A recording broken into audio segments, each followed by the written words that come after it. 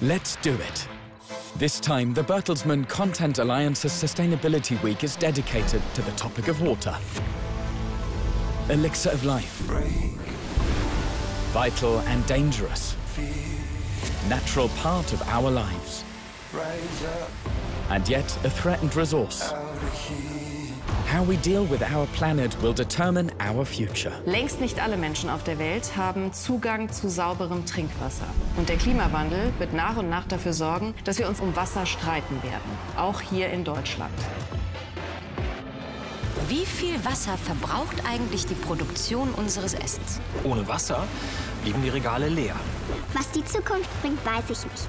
Aber du hast in der Hand, dass ich eine habe. Quality, shortages, consumption, habitat. The Bertelsmann Content Alliance is raising awareness of more sustainable water use across all media and channels as part of the Let's Do It themed weeks.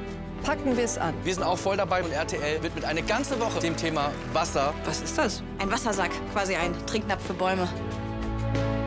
Dank unserer cleveren Idee duschen Sie in Zukunft für die Hälfte. Jeder äh, ist sich selbst eine Liste und muss sich natürlich auch disziplinieren, nicht wahllos irgendwas wegzuschmeißen, was dann letztendlich in die Ostsee gelangt. Was könnten wir konkret tun, um beim Thema Wasser umwelt- und auch klimafreundlicher zu handeln?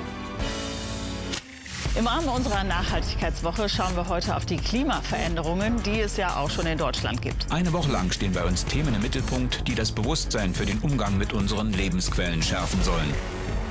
Das machen wir gemeinsam mit vielen anderen Radiostationen in Deutschland. Außerdem ist auch RTL Fernsehen mit an Bord und Magazine wie Stern, Gala und Geo.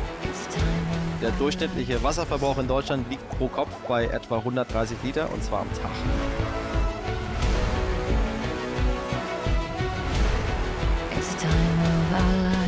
Ich brauche eure Hilfe bei einer Aktion. Ihr müsst so viele Kippen für mich sammeln wie möglich.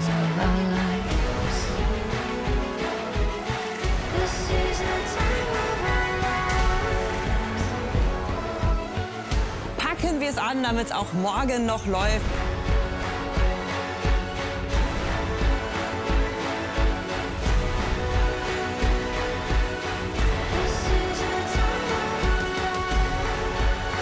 Packen wir es an. Packen wir es an. Packen wir es an. Packen wir es an, damit es auch morgen noch läuft.